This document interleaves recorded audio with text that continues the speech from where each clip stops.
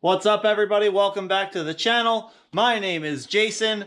Today we are going to be rebuilding and upgrading the Turbo 400 for the 6.0 CUCV project.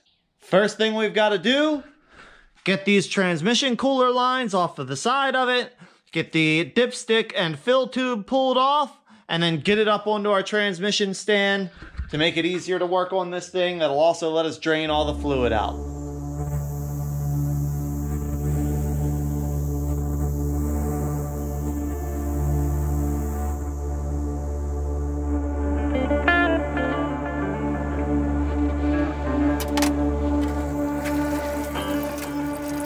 Okay, so I mentioned in the previous videos, this was a perfectly functioning Turbo 400. The reason I'm getting this thing apart and I'm going to be upgrading it is because I'm switching it to a 6.0 engine as opposed to that old, tired 6.2 diesel. I'm gonna rev it twice as high as it's ever been revved.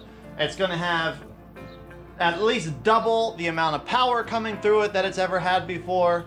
Not to mention, I just want to have good firm shifts throughout the RPM range and, and feel like it's a performance transmission and not worry about it once it's in the truck.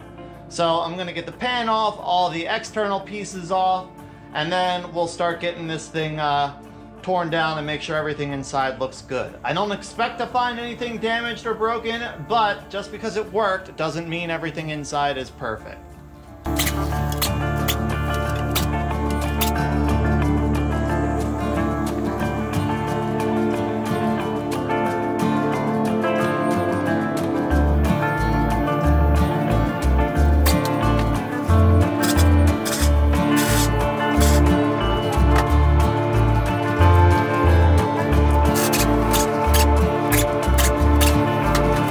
On most transmissions that I've worked on, you can get a pry bar, a screwdriver, something between the pump and the case right inside where the fluid is allowed to drain back down. So that's what we're gonna do to pop this transmission pump, the front pump, up out of the case and lift it out.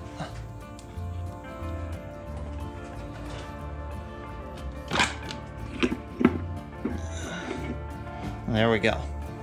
All right, I've got all of my external pieces off, transmission pan, uh, governor cover, and front pump. I, am gonna go ahead, taking these things apart is pretty self-explanatory. They'll only really come apart one way. So I'm gonna set you up on a time lapse, get all the pieces pulled out of this thing, and then we'll start cleaning up all the pieces and get to putting it back together.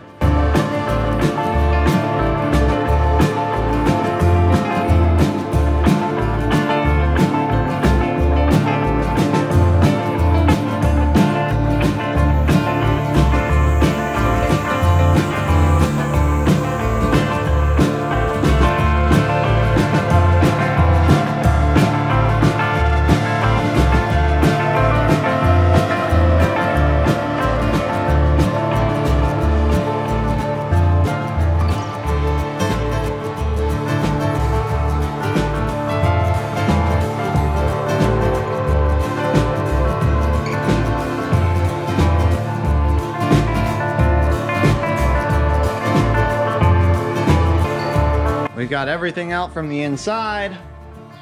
All the clutch assemblies. I don't see anything visibly, obviously wrong.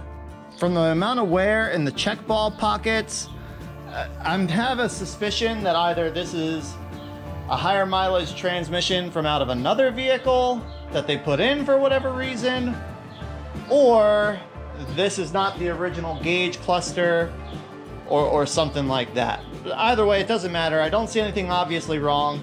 Uh, it's There's still a lot of filth, so I'm gonna get this in the parts washer, get it all cleaned up, uh, and then I'll start going through the clutch packs, get those all cleaned up, washed off. I'll check all my thrust washers, make sure everything is good, install all new seals, and then I'll get started putting the, uh, the shift kit into this thing.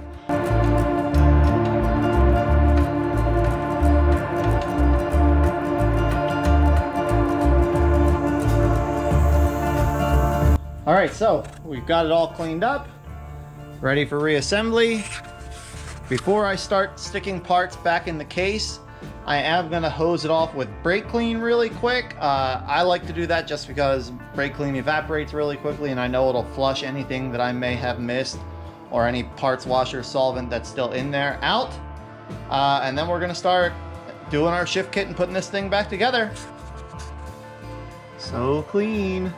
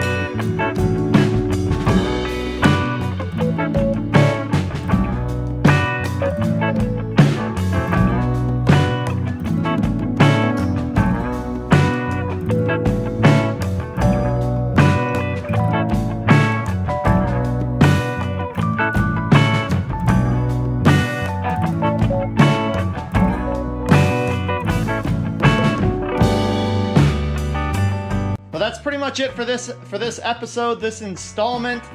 The transmission is beefed up, it's ready to go. I don't expect to have any issues with it.